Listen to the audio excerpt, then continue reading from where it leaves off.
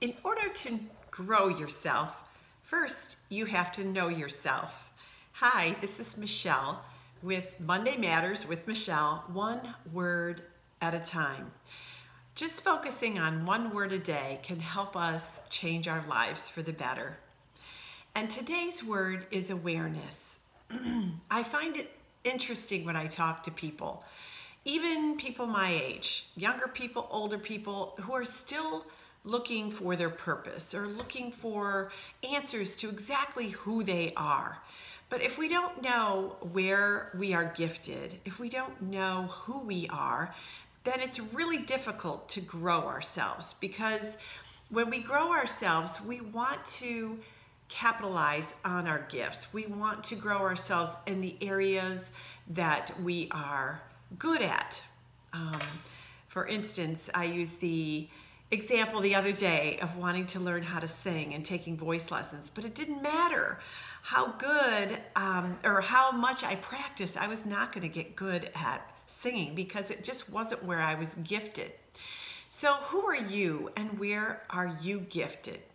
Keep in mind that becoming aware of who you are is just as much important as to who you are not. For instance, one of my nephews has just been admitted into the Peace Corps and he's going to go away for a couple years or maybe a little less into the Peace Corps.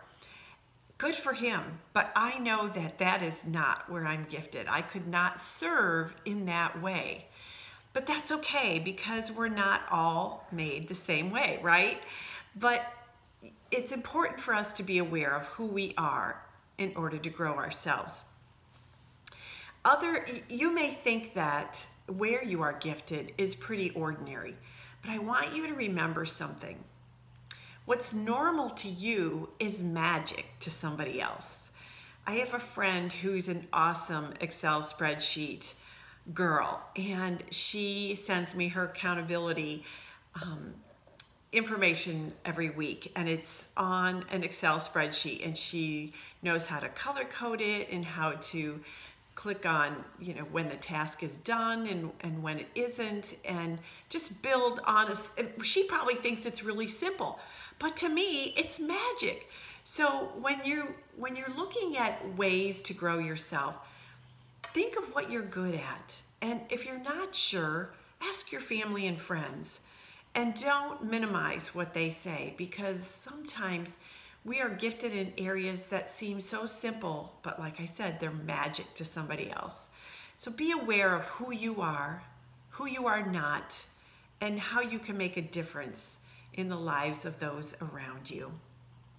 Again, this is Michelle with Monday Matters, and our word for the day was awareness.